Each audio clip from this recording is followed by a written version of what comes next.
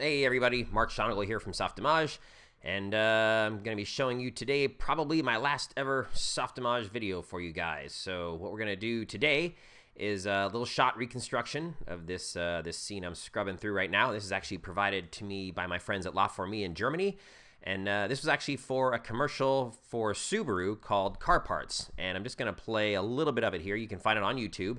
Uh, just search for uh, Subaru car parts, and uh, it's a really amazing commercial, all done with Softimage. Lots of crazy ICE work in here, and this is the shot right there. Those uh, those dandelions, basically made out of pistons, car pistons, uh, animating, kind of blowing in the wind. I'll play it again for you, so you can see they kind of start to wiggle right there, and then they all kind of blow away. So we're going to use that. We're going to use ICE. We're going to use instant shapes, state machines. Uh, we're going to create some variables, all sorts of fun stuff. So uh, again, here was the uh, here was the original version by La Me, and you can see uh, basically we've got a couple different motions there. We've got a little bit of uh, kind of blowing in the breeze, and then they release and just kind of blow through each other, and then the camera move picks them going upwards like so. Uh, if I show you really quick, the uh, the original ICE graph. And I'm not going to zoom in too deep, so I don't want to show you all of their crazy work. But you can see there's a lot of interesting ICE nodes here. Uh, I'm actually going to recreate this for you in a much simpler fashion. It's going to look pretty close, won't be exactly the same. Uh, but as, as, opposed to writing all my own code here, I'm going to use a lot of uh, kind of base level Softimage nodes. So why don't I just go ahead and fire up this other scene here where I've lightened it up a little bit. And uh, there you can see we still have the, the motion on there, so we get that wiggling and then again all the pistons sort of blow through one another. Uh, so let's go ahead and just uh, set up our viewport here a little bit. I'm going to grab these um, the piston effect here, this point cloud. This is again all particles. Uh, I'm going to go ahead and delete that one since we're going to recreate it. And I'll also grab the background objects here and just hide them so we have a nice clean workspace and maybe go here to my user camera. So what we have here is uh, basically a sphere. It's not a real sphere. It's actually uh, was an icosahedron and basically a little 10-sided guy like that. And we just increased the uh, the geodesic frequency here in the geometry creation node to get uh, well to get this kind of a sphere that has these nice evenly spaced uh, vertices. Because essentially at every one of these vertices, we want to sprout a particle, which is going to grow our piston, and then we want to wiggle them and then release them. So I'm going to show you how we do all of that with ICE.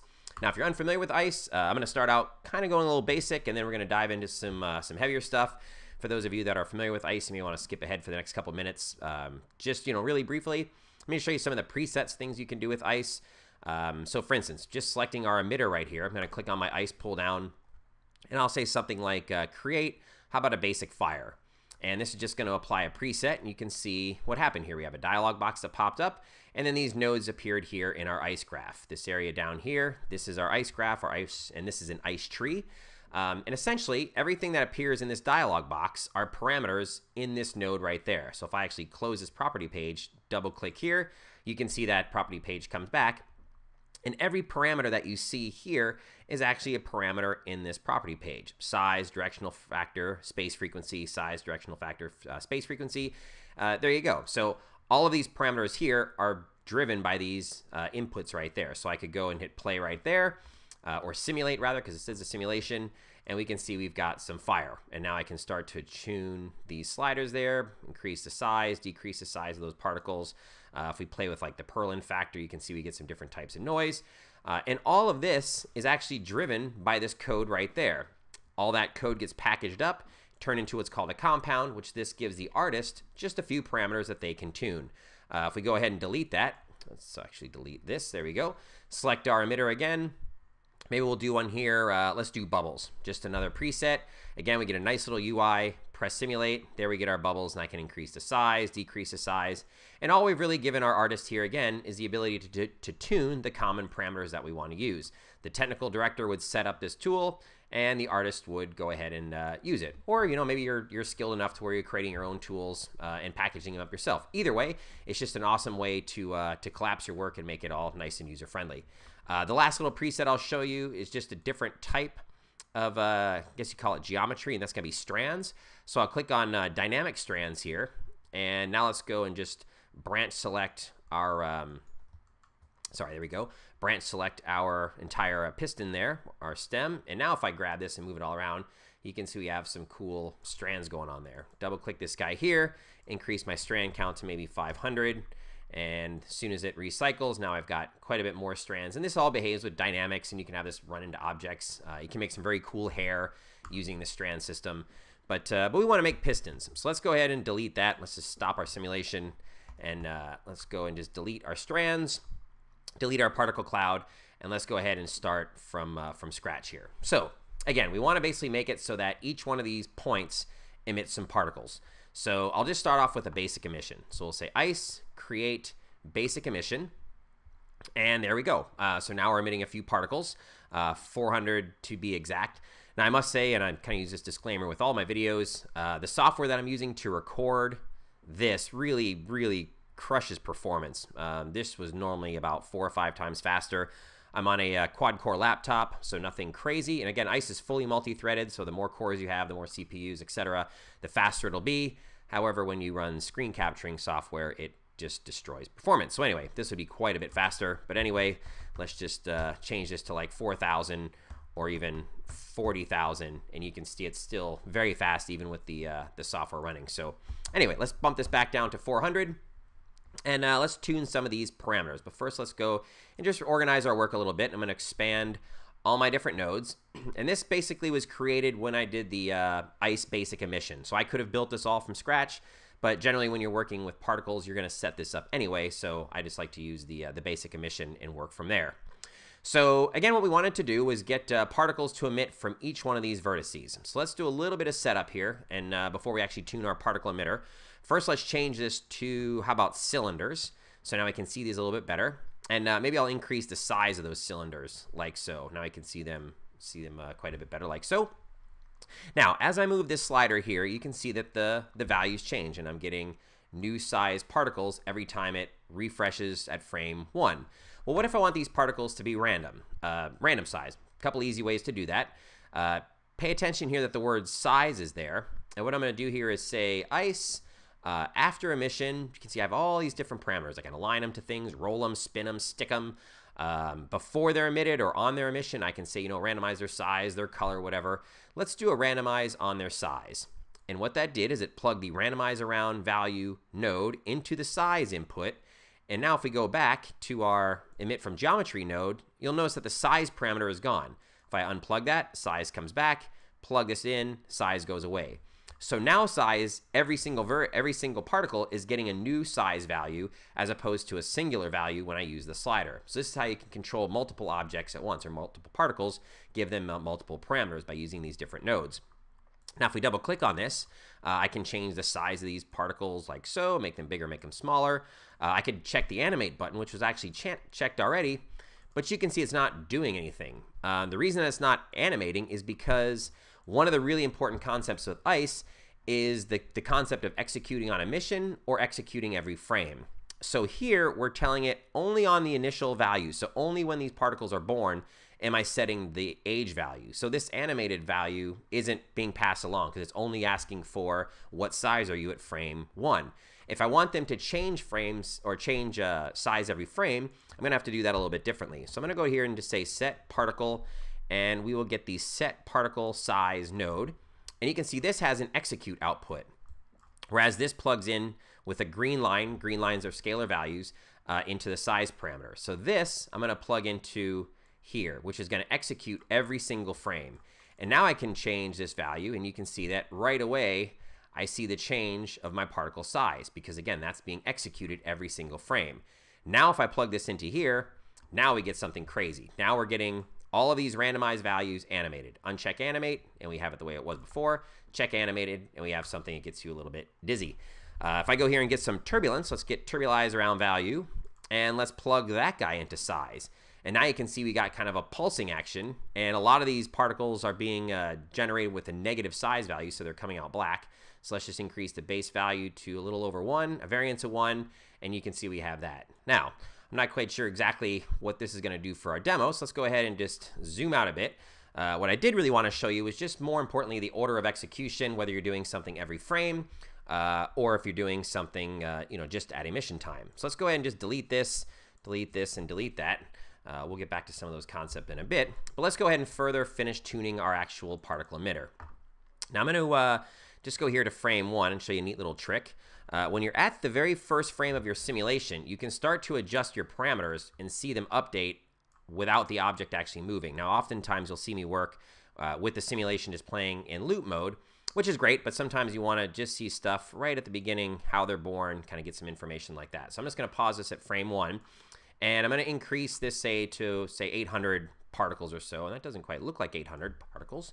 Uh, so let's do this. Let's change this to, uh, okay, total, part, total number of particles or total number of particles per second. I'm going to do total number. So there we go. So now we're seeing 800 and they're all being generated randomly over the surface. Well, I want them to generate out of each vertice, so I'm going to switch that to point, and I'll pin this open using that little lock icon. You can pin these uh, property pages, and you can see that I'm not getting nearly as many particles on the vertices as I'd like. Now, I'm told it to be 781 particles, but there's clearly not 781 particles there.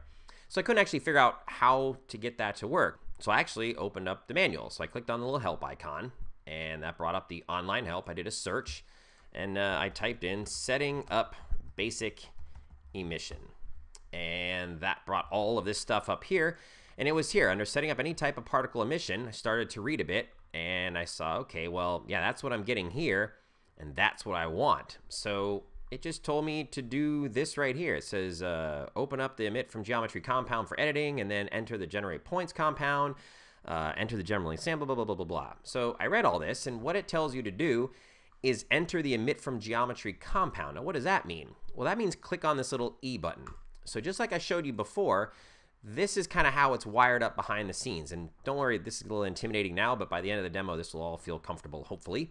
Um, so inside here, we have some other nodes, and it said then dive further into the generate sample or the generate points node, or compound rather. So go in there. And there's a node here called generate sample set. And the instructions say go into here and change this to uh, all points and there you go. Now we get exactly what we were looking for. So what we really did there is we almost kind of sort of modified the source code. Uh, the beauty of ICE is that you know not only is it multi-threaded, not only is it very open, but uh, it allows you to to, to change the, the nodes that we've created. Uh, if you want to see how the initialized force velocity node works, well, there's the parameters for it. Uh, and it's pretty much like that for all the nodes. Of course, there's an SDK where you can create your own nodes. Um, but, you know, again, pretty much everything you need is in here. And you can always go ahead and rewire something like we did here. Uh, so anyway, that got us uh, fairly close to the way we want our emitter to look. We don't want them to all to fly out like that. So I'm just going to double click this guy here, change the speed to zero. And now you can see we've got all of our particles, at least uh, they kind of look right. You know, we got to get them to face the correct, correct direction. There's still a bunch of other work to do.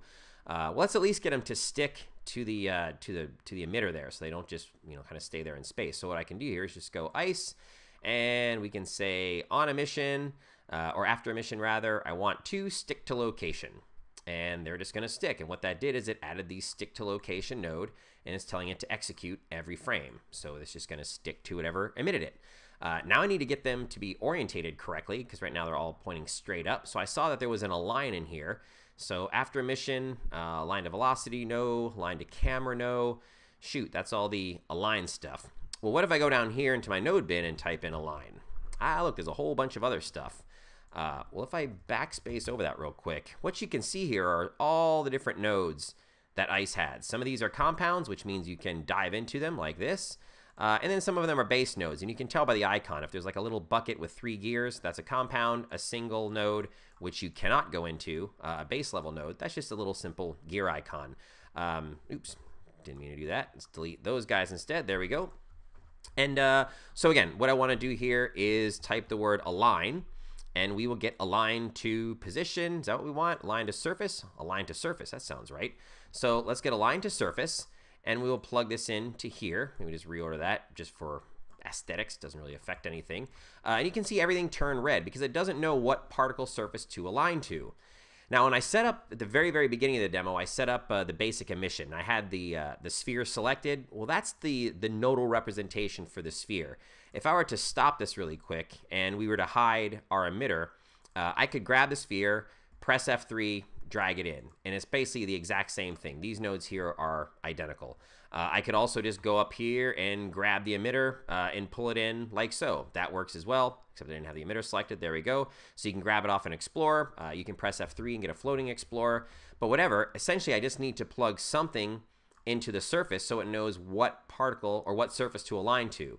Uh, because these are both the same, watch, a neat little trick is to just use the same node. That's exactly the same because, again, this node represents this sphere here. Uh, if we unhide our point cloud, press simulate, there you can see we have that. Now, it's a bit wonky right now. Uh, if I go into my align particle to surface, I just need to change this to align to the surface normal, and now we get something that looks like that, which, hey, that's pretty good. We're, uh, that's almost a dandelion. Um, so let's do this. Instead of, uh, instead of let's uh, finishing building the effect, let's take a little break from from kind of the the effect side of thing, and let's just tune a couple more parameters on our emitter, show you how we can work with some weight maps uh, and some other things like that. So right now, if we look underneath here, you can see that we're going to emit pistons, you know, pointing straight down into the stem, and that's not really quite how well most most dandelions don't have car parts hanging out of them, but you know, dandelions generally don't grow straight downwards like that. Uh, so what we'll do is we'll uh, we'll hide our particle cloud. So let's just select it, press H, select the sphere. Now what I could do is select a bunch of polygons like I'm doing here, press the delete key, and then we wouldn't have any polygon or any uh, particles being emitted from those vertices. But another thing we can do is to use a weight map. So I'll go property, weight map. You can also find the same tool here under property in the pull down. Either way, uh, I'm gonna do a weight map and that will put a map on top of here, a parameter map. And if I change the base weight to 100, you can see that basically it's a value between 0 and 100 that allows me to affect different parameters. So what I'm going to do is I'm going to paint the underneath black. And you can see that Softimage is smart enough to hide the uh, geometry that was in my way as I was painting. And so that area is now uh, painted with a weight map. And I can come over here to my node bin now and type in filter by weight map and just plug this in to here. And if we unhide our uh, geometry, check it out. Now, where I painted the weight map is no longer going to have any dandelions. And if I go and just start painting, even though I'm middle of the simulation, look, I can go and paint out those dandelions. And the reason for that is because I'm plugged into execute on emission and I'm having it execute every frame.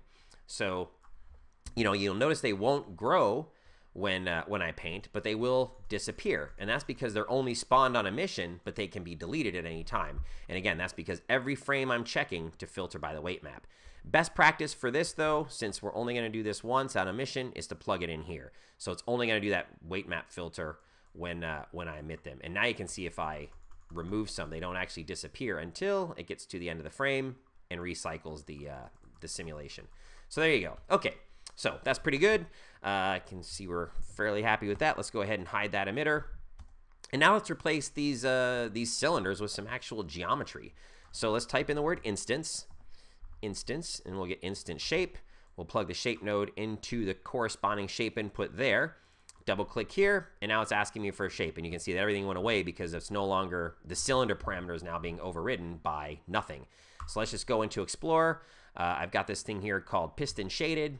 And as soon as we get back to frame one, bonk, there we go. Check it out. We've got all of our pistons now attached onto our uh, onto our dandelion like so. And maybe now what we'll do is just increase the size of these guys just a hair to like 0.7. If we go here to frame one, you can see they'll increase and look, I can do that just like that. See again, nice just to park your timeline there at frame one and, uh, and go from there. All right. So we've kind of tuned our emitter now. Um, everything looks good. The, the particles are on there right. They're pistons. Uh, now we need to get them to wiggle in the breeze. So let's go ahead and do that. Okay, so right now, uh, the align particle to surface node is what's essentially aligning all these particles to face the way they are. Uh, if I were to disconnect that, you can see all the particles then lines align straight upwards. So somewhere in here, we're getting the math to adjust those orientations. So I'm just going to go and pull this guy down like this. Let's dive into this compound, and let's take a look at what we have here. So a bunch of little lines, a bunch of different colors. Uh, some interesting stuff to point out if you're unfamiliar with ICE. Uh, these color-coded lines are very important. They represent different data types. So, for instance, a baby blue line is, uh, is an orientation, so a vector and an angle. Uh, yellows are just vectors, greens are scalar values, uh, and orange is a condition or a boolean, and a yes-no, essentially. Um, so what this code here is doing is it's essentially taking a couple vectors, a couple angles, uh, and it's turning that into an orientation for these pistons or these particles. Uh, that is then packaged up into the align particle to surface node. outputting from this is an execute node. And that execute node is specifically saying that after you do all of this math, take this orientation value and set the particle's orientation with it. Because this could be the orientation value for anything. But this right here specifically says, okay, now this orientation is, is specifically going to be the particle's orientation.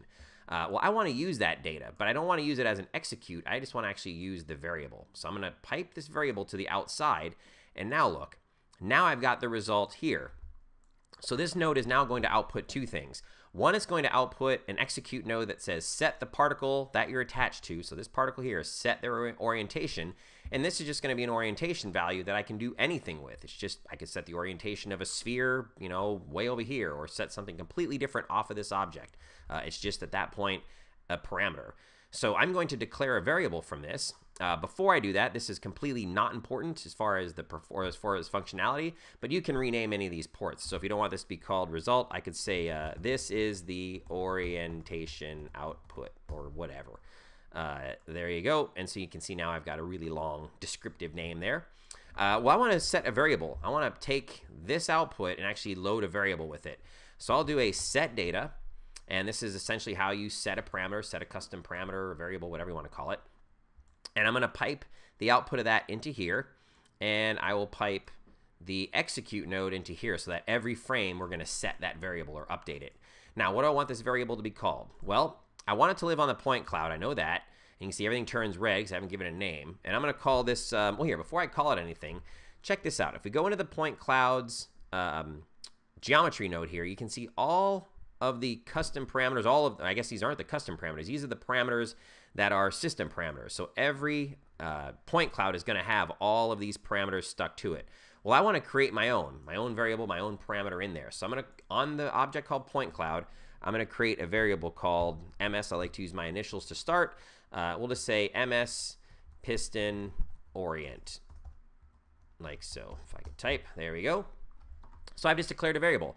And now if I go back into my list of variables, we should see, there it is, ms piston orientation. And so every single frame, we're going to take the orientation for every one of these particles and load this variable up with it. I'm not doing anything with it yet, but I'm basically setting up my framework or setting up my uh, my tree here to be able to access that node later. So I want to get it now. Uh, so let's do a get data. So I want to get data and I want to set some data. Set data like so. Now the get data, the data that I want to get is living on the point cloud and it is actually called MS Piston Orientation. And I should actually point this out. Right now I'm using the name point cloud, point cloud. What's really best practice is to, oops, sorry, what's really best practice is to not actually use the object name because what happens if I create another point cloud? That's going to be called point cloud one, and then this tool isn't going to work if I copy and paste it. Uh, if you type the word self, that's much better. It means itself or whatever this tree is attached to, it's going to do, it's going to load that variable. So essentially it's the exact same thing. It's just better practice, again, to use uh, self in this case because I want to make this code portable which I will do here at the end of the demo. We'll make a few copies of these. Uh, so now I'm going to get the orientation of the piston, and I'm going to load this variable. And what is that variable going to be, or what do I want to set? Well, now I want to set, and this isn't going to make any sense at all at first, I want to set the orientation of the particle to that, which it's already set to. So here, let's plug this in, and we can make fun of how this doesn't make any sense. So what I'm doing here is I'm getting the orientation of the piston as a variable, I'm creating a variable called marks piston and I'm loading that variable. Then I'm getting that variable again and I'm piping it through the point clouds orientation, which this is already setting because remember, right here, we're setting the orientation to that. So these two nodes are doing the exact same thing. So if I hit simulator play, it's not going to change it one bit. It's going to run tiny bit slower probably, but you know, because we're being redundant.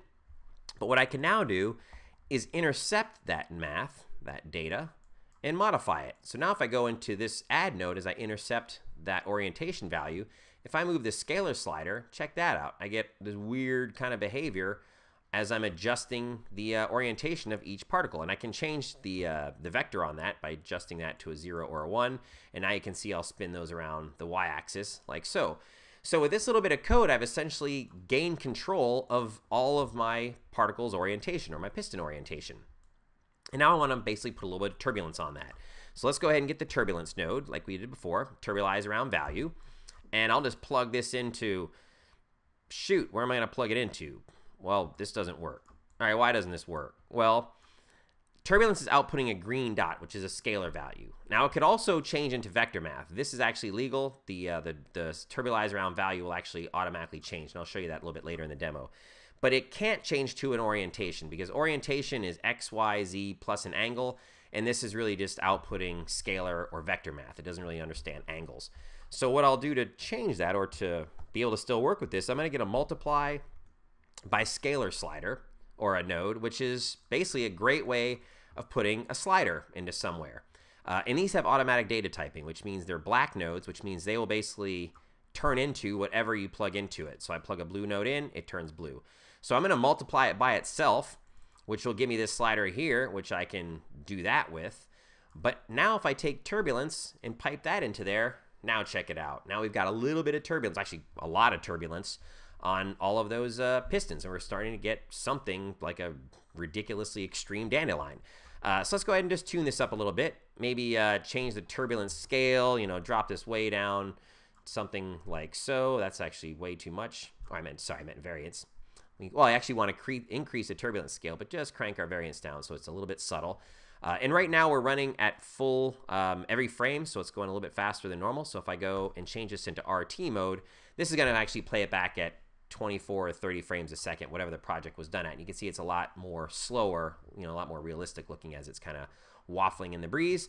Uh, check the animated parameter, and that'll actually make it look like it's moving through the air. So with turbulence, when you turn animated on it, it animates kind of the air around it as well as the values, kind of one way of, of looking at it. I'm actually going to increase this just a bit more to 15. And now you can see we've got our nice little uh, wafting in the air, which is pretty cool. So uh, shoot, we're getting there. All we need to do now is release them. Uh, before we do that, though, let's go ahead and do a couple other little uh, cool little ICE tricks here. So the first one I'll do here is just grab all of these nodes, right click and say create compound. And check that out. I just took all of those nodes and collapsed them. Uh, I should point out if I, let's do this. Let's select this compound again, compound, explode compound. So you can always kind of, you know, blow up your compound after you've created it if you don't want it to be that way. Uh, I should point out that I didn't have to do this whole creating of a variable. I could have actually just taken this output and plugged it into there. Would have done the same thing, but I just wanted to show you how you create a variable or custom parameter, whatever you'd like to call it. And that also lets me then easily create this compound. So a couple different ways of doing what I just did. Uh, we're going to create this compound here. Let's dive into it. Let's call it uh, Wiggler. And let's expose a parameter. So I want the artist to be able to choose, uh, tune, say, the base value. And if we go up, look, there's Wiggler. There's a base value. Double click that, and we've got one port now where I can change the, uh, the crazy base value for our, our turbulence.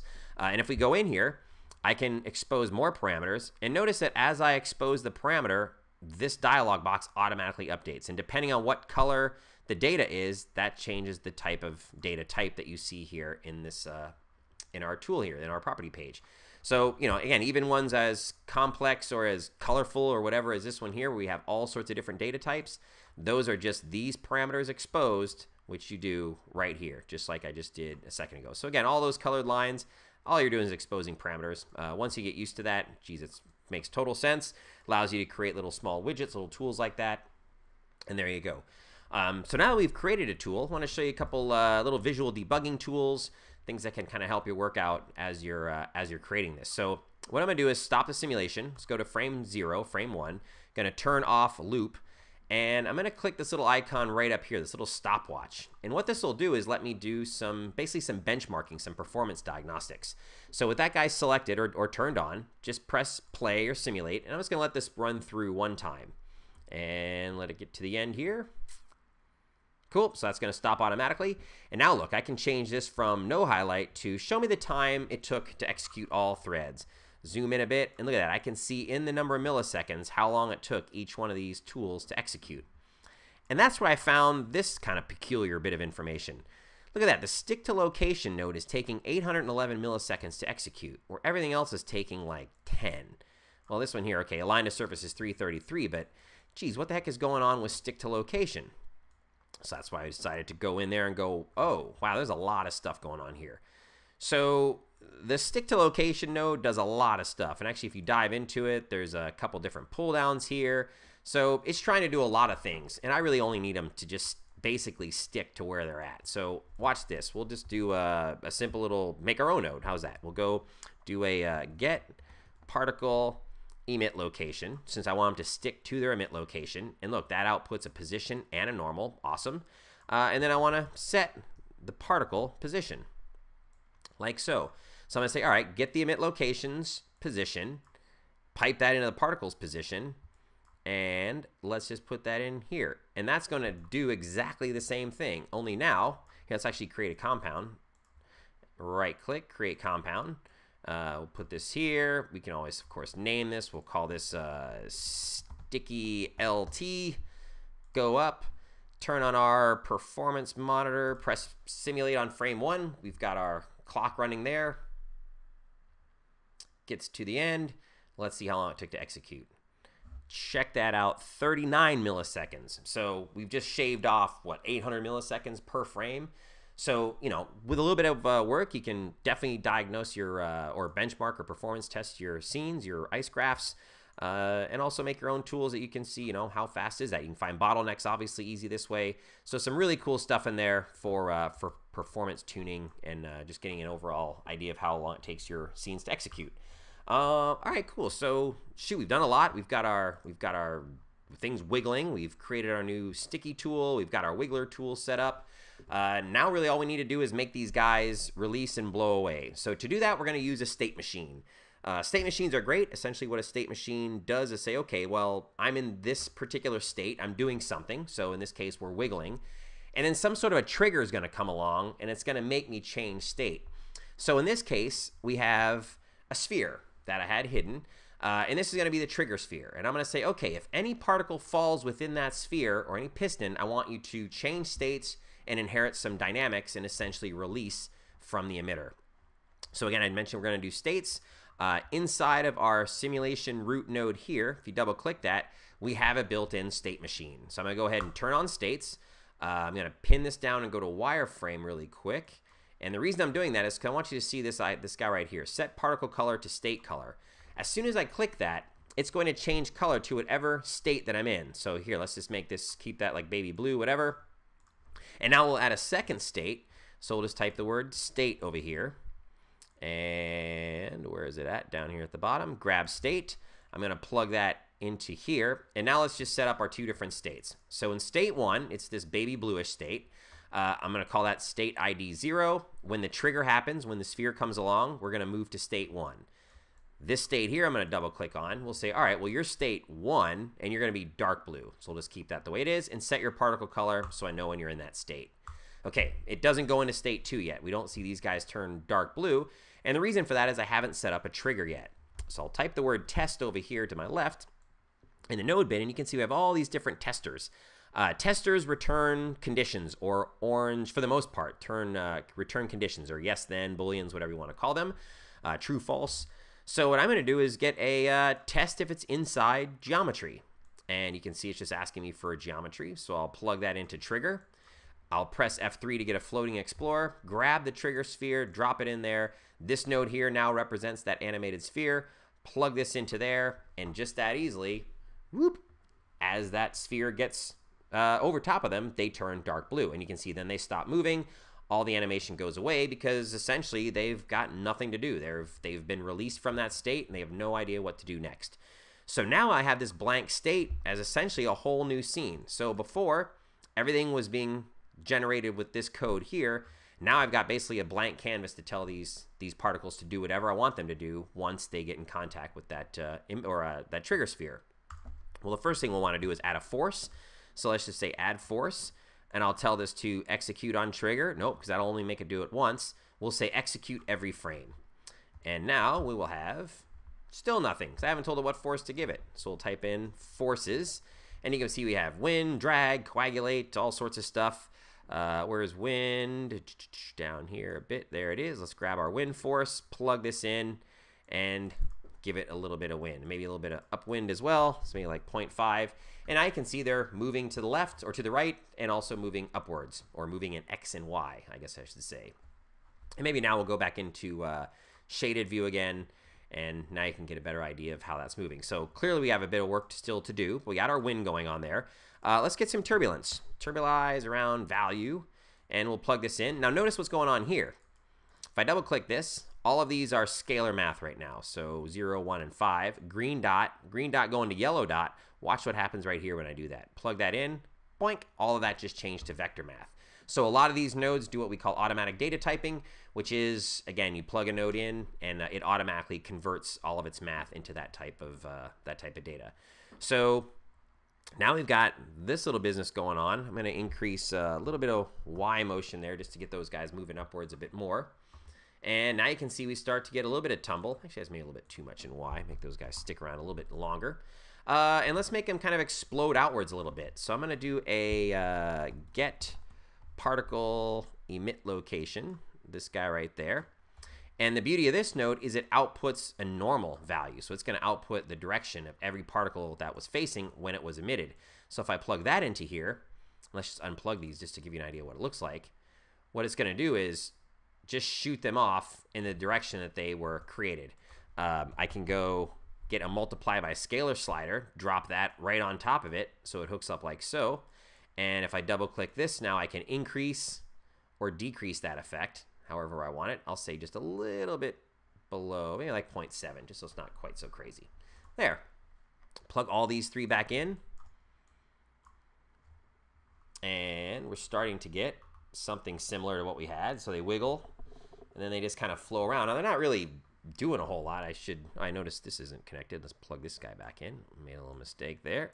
There we go. So now we've got our wind, we've got our tumbling, well, our, our turbulence, and we've got our, uh, that kind of explosion. But let's actually go ahead and make them tumble. So I'll use the spin particle node, and this has an execute output. So we'll just plug this into execute every frame, and we'll do that, and boy, do they start spinning. So that's cool. Maybe that's a little bit too much. So we can keyframe this stuff. So check this out. We'll go here to say frame zero. We don't need them spinning until right about here at frame 30. So we'll set the spin rate at say 0.2 right when they start off. And then after over time, say it's like, I don't know, frame 75, we'll make this 0.5 and set that keyframe. If I right click on that little red tick, I can go into my animation editor. I can see that keyframe, zoom out, I can grab that point, move it, change the timing if I want, very easy. Uh, and this little icon right there, anytime you see a green dot, and these are all over Softimage, that means you can keyframe it, drive it by an expression, a constraint, um, the mixer, all sorts of different ways of driving animation. And then it shows you this little squiggle, which means that it's being driven by a keyframe. So let's go ahead and play this back and see what happens. So they release, they start tumbling. Cool. All right, we're getting there. Starting, starting to take shape. Uh, let's get another spin particle. If you remember from the video, they start actually spinning on their local y-axis and they get faster and faster and faster as they move about. So let's go ahead and plug that into here. And right now they're still tumbling, so I'm going to tell them to spin on their local y-axis. And watch this. I can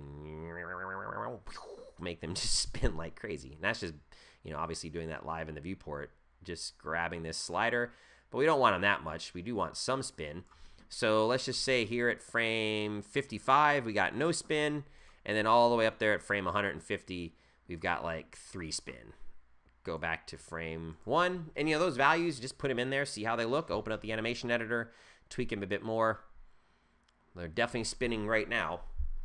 But the last thing that they were doing in the video is they all slowly started to orientate their way upwards. Right now, they're just kind of spinning aimlessly after they get released. So let's go ahead and get one more node here. We'll get align, and I want to align to a surface. And I'm sorry, align to a position. Let's grab align to position and plug this into here. And right now they're instantly all aligned 100% downward because this guy's strength is set to 1. Uh, so that's why they're all immediately doing it because it's taking full control. Uh, and also the, the local vector is positive 1y, which seems right, but it's actually negative 1y that we need will make them face the correct direction. So you can see at negative 1, they're actually facing upward. So what I'll do here is just slowly keyframe them as well. So they get released, and then just like I'll do here, I'll just have them slowly move upwards. So let's go here to say frame right about there we want it to start. Say frame 85. Let's put our weight keyframe at 0 And then maybe here at frame 140, let's keyframe this to like 0.4. It's a really subtle effect to get that spin. Go back to frame one. We swoop, release, they tumble, they start to orientate upwards, and then they start to spin. So shoot, that's actually looking pretty close to what we had. Uh, maybe I'll show you one more node, coagulate, uh, force coagulate, this guy here. Uh, the coagulate force, if you know what coagulation does, it kind of makes things basically stick together uh, as they get near one another.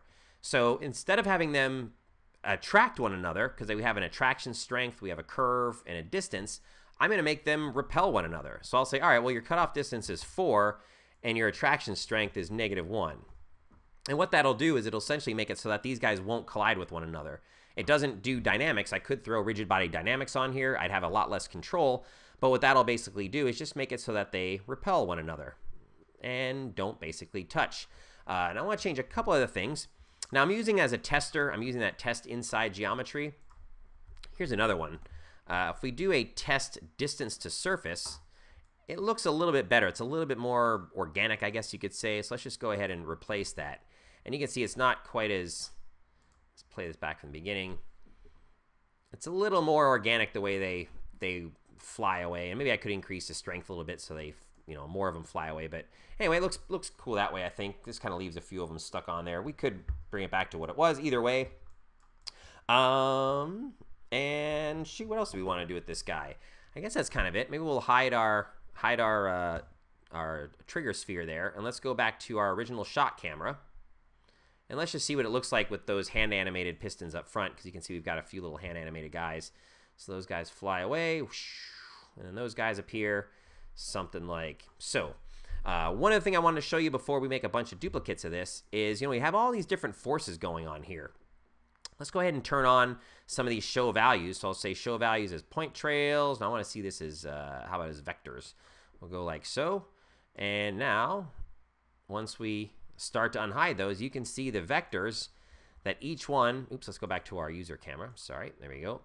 Uh, you can see the vector that each one of these pistons is going to fly on. So that's what the math of, in this case, the turbulence is providing. Then if we turn this guy on, let's say we want them to be purple. We want this to be a vector as well.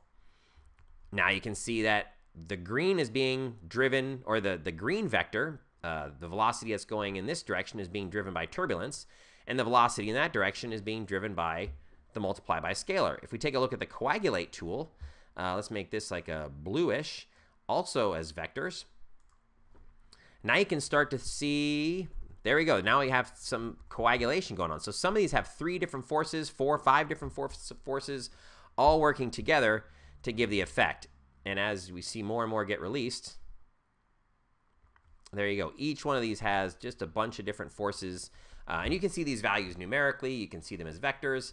Uh, oftentimes when I'm doing these ICE graphs, it's really, really important to have these little things turned on so you can see exactly where your values are coming from, where your data is coming from. And uh, there you go. So one last thing, let's go ahead and put all of this into a uh, into a model and duplicate the model and make uh, five or six of these like we had in the original shot and uh, I think we'll be done. So we're going to take the point cloud, we're going to take the emitter, the trigger sphere, and also the shaded piston, the one that's uh, actually in the scene there, and we're going to drop all of these into this node here called dandelion model, like so. The cool thing about models in Softimage is that they can have shared namespaces. So if I want to uh, easily duplicate this, here, let me just uh, clean that up a little bit. Middle click on this guy, press Control D to duplicate it, and now I have two copies of the same model. Uh, if we go here to our original camera shot, and we go back here maybe to frame one, I can kind of position this one here. Uh, we'll duplicate that guy, move this one over to here, and maybe if we take a look from the top view, uh, do another one here. I think one was close like so. Maybe we'll do one more way back here. And again, the nice thing about the models in this shared namespace is that I didn't have to go rename a bunch of objects. Uh, if I press simulate now, we get all these guys wiggling in the breeze, and ooh, that gets really chunky. Again, it's uh, ICE is much faster when you're not recording. So anyway, we'll just scrub through this. You can see they're spinning around, waffling in the breeze. They get released. and then they all get ejected. I should turn off those little spinning lines, but actually that's kind of cool looking to see all the different forces working. And there you go. So that's really pretty much, uh, that's, I mean, it's, a, it's, it's very close. Again, we didn't use the, the, uh, the crazy amounts of nodes that uh, that we had here. Now again, they the guys at La Fourmie they basically created a lot of their own math logic. Uh, if you look, a lot of other little subtle things going on in their effect that uh, that I didn't do. I could have easily done them. Uh, just for time's sake, I thought I would just show you the the kind of basics here. But anyway, there you go. That's how you would uh, create a shot like this in ICE in Softimage. And yeah, so hopefully you've enjoyed this. Um, geez, thanks you all for uh, letting me be your Softimage evangelist all these years. Hopefully you've enjoyed all these videos. And uh, we'll have to uh, see you on the next one. So until then, take care, everybody. Bye-bye.